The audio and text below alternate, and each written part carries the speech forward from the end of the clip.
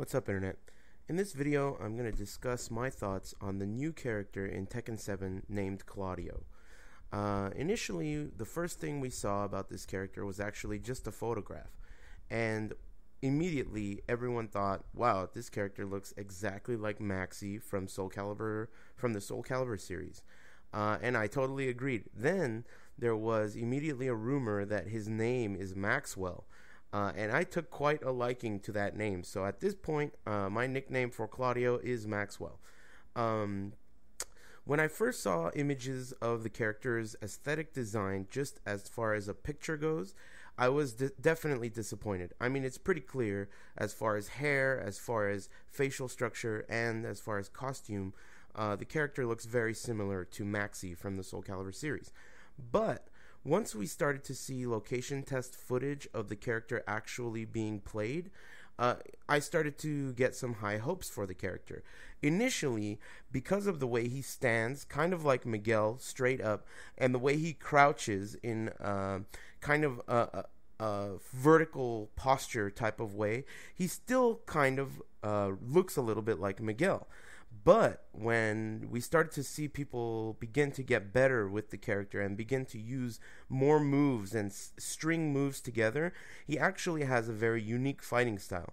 Though he does still share some moves with Miguel, as well as have some lows that kind of resemble Anna's lows, I feel like his character design, when it's actually applied to a match, looks very unique and he does have a lot of stuff that we really don't understand how it works yet. Like for example, his right hand can catch on fire, kind of like Dormammu's power of the stance. Uh, so we don't really know exactly what that does. We don't know how that affects his gameplay, but um, there is some depth here that is unexplored. So I'm really excited to see what all these little intricate details mean with this character.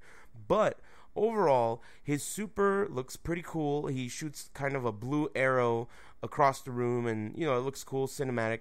Uh, he also has one of my favorite moves uh, of all time, Genocide Cutter, uh, from Rugal in the King of Fighters series. So I'm really, really excited and hopeful for this character. He kind of has a few moves that resemble other characters that we've seen before. Kind of has a Lars thing going on with some of his dashes in and out. Uh, and you know, overall, I, I'm very, very hopeful, especially considering how disappointed I was when I initially saw the artwork and saw how similar to Maxi he looks. Overall, at this point, I'm very excited about Claudio. I'm looking forward to seeing what they have in store for the character. Uh, there is a lot to uh, every single character in the Tekken series has a lot to it. So it's very difficult to judge based on just a couple of location test matches that are played by obviously noobs because nobody really knows how to play the character at all. So it's very hard to judge, but I have to say that I am excited about this character and compared to the other character, uh, Car- Carolina or whatever her name is, uh, I gotta say, he looks way, way cooler, way more unique, way more, um, uh, you know, it's almost like this is a vision that they had. And uh, Katarina, on the other hand, she's just kind of like whatever, you know, it doesn't seem like there's much um, creativity applied there. So uh, among the new characters, I'm really really excited about Maxwell. He looks cool. He, has got genocide cutter. He's got some blue shit on his right hand. You know, I, I'm excited. It looks like this could be a welcomed addition to all the present fighting styles we have in Tekken 7. If you want to keep up with this avalanche of Tekken 7 information that's coming out, make sure you subscribe to this channel, and I'll see you guys next time. Take it easy, everybody.